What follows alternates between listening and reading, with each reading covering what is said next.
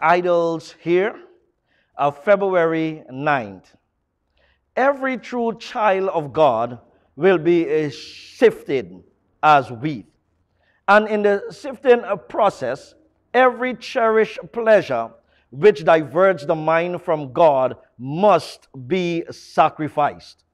The Bible tells us in 1 John 5 21, it says, Little children, uh, keep yourselves from idols. As we consider the word uh, keep in this uh, particular scripture, uh, in context, it means uh, to guard against or safeguard. Uh, hence the text little children, keep or safeguard yourselves from idols. You might be wondering today how to safeguard yourself from idols. It is simple. keep your eyes on His Word and on His Word, uh, focus your attention.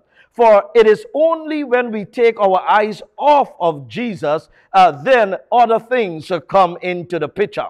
Let us keep our eyes focused on Jesus. Why not let us trust His Word uh, today? Let us ask God uh, for uh, His help in terms of helping us to keep our eyes fixed upon Jesus. Now, that is the power of His word. Why not let us ask Him? Father, we just want to ask you today uh, to give us the strength and to help us uh, to keep our eyes fixed upon Jesus.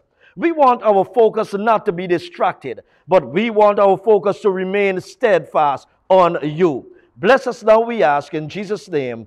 Amen.